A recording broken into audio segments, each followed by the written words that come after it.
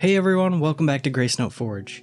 So a while ago I did this rhino ring sculpt in Blender, and before I move on to printing and casting this piece, I actually want to do a few more things to make it more interesting.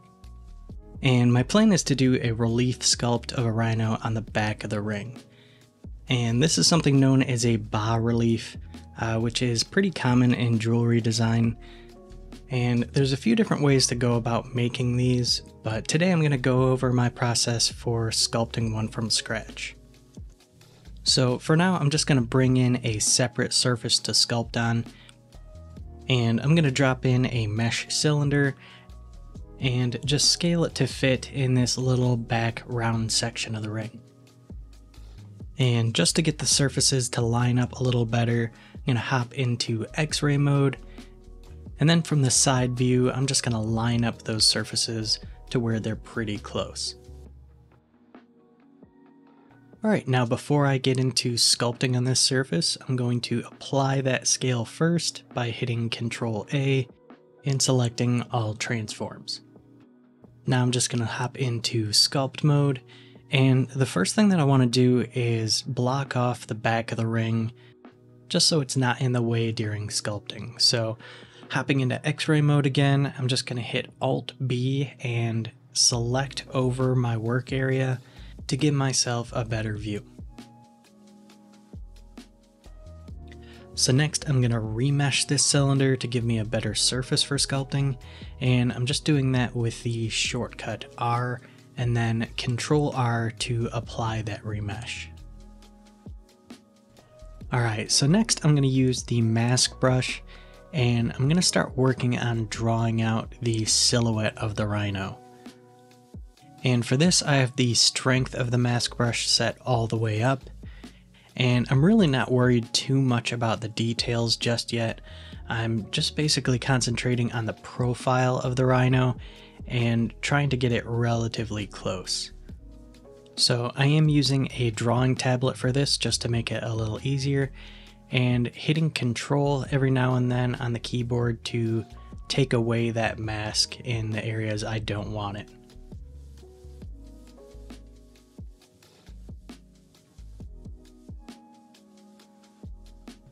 So once that silhouette is looking pretty good, the next thing I'm going to do is kind of extrude this silhouette out to give me more depth to work on. So I'm going to do that by inverting my mask by hitting Control I and then using the move tool in sculpt mode. I'm just going to grab the Y axis arrow and pull this silhouette out.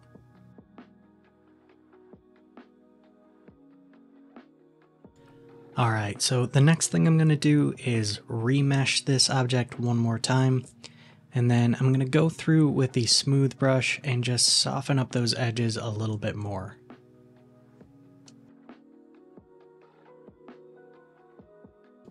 Then, once that's looking pretty good, I can go ahead and remove the mask by hitting Alt M.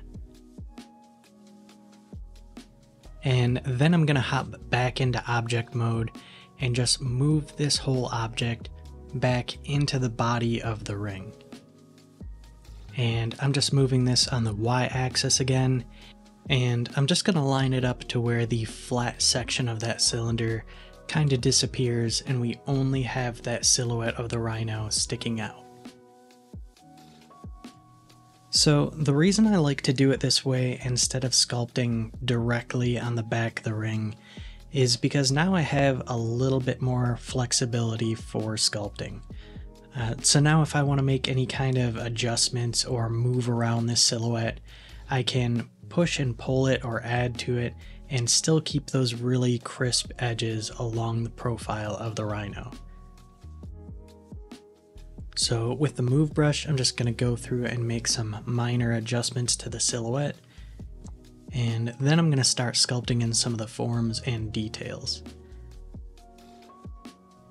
So to do that, I'm just going to use the clay strips brush and I'm going to start building out some of these forms that I know are sticking out more based on my reference. So the areas like the cheeks or the stomach and shoulders, I can see in the reference are kind of sticking out more so than the edges or the creases in some areas of the skin.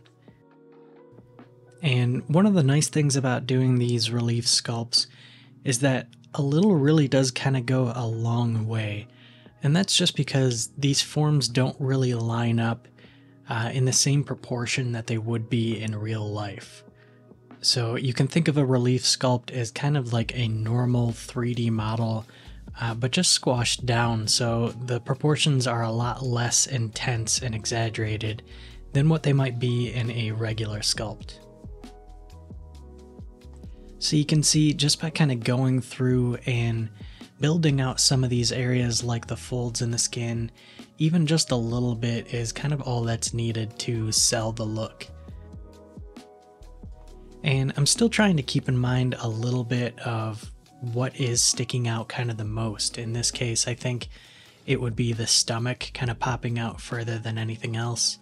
But honestly, you don't need to be too crazy accurate to have the sculpt read the way that you want.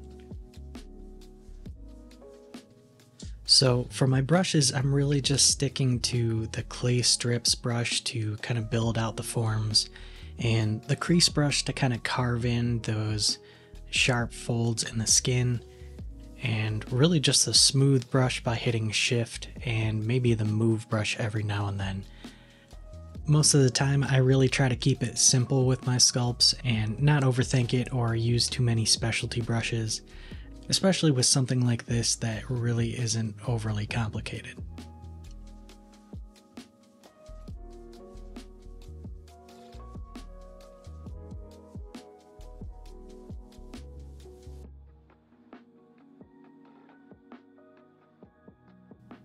And once I have most of the larger forms of the rhino kind of built out how I like them, I'm just going to remesh the sculpt one more time to a little bit of a higher poly count and bring in just a little bit more detail with the crease brush. And I'm really not trying to go too crazy with the detail, and this is something that I've been really trying to keep in mind, especially with small sculpts like this, um, is that some of this detail just isn't really going to read, so there's really no need to go too high in detail and really do anything crazy like build out the pores or something in this sculpt. Um, I think the final size comes to around 6 by 3 millimeters, so a lot of these cracks and creases in the skin um, probably won't even come out very well when 3D printing. So, really, as long as this reads as a rhino kind of from a distance, then I'm really happy with it.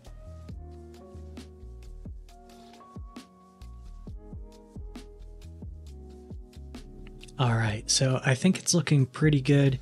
I'm just to unhide the rest of the ring and take a look to see how else I can improve this. And right now I like how the relief sculpt is looking, but I think it kind of looks a little flat just sitting there by itself. So next I want to try to add some texture in this domed out area around the rhino. So to do that, I'm just gonna do the same step of hiding the back of the ring to isolate the area that I'm working on.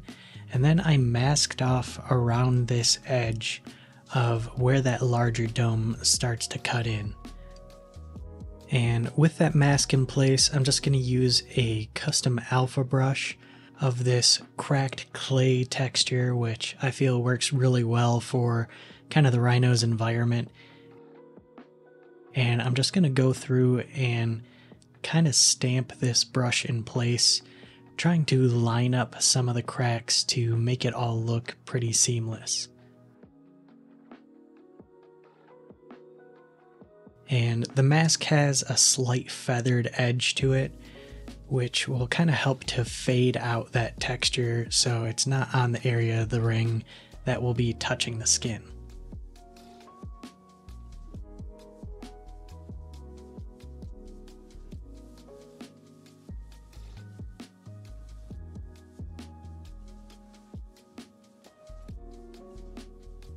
Alright, that about does it for this design. I think it's looking really cool so far and I'm really excited to print and cast this one. Uh, the only thing left to do now is just join the objects together and get the whole model ready for 3D printing and casting. But that'll have to be for another video. So until then, thanks for watching and I'll see you in the next one.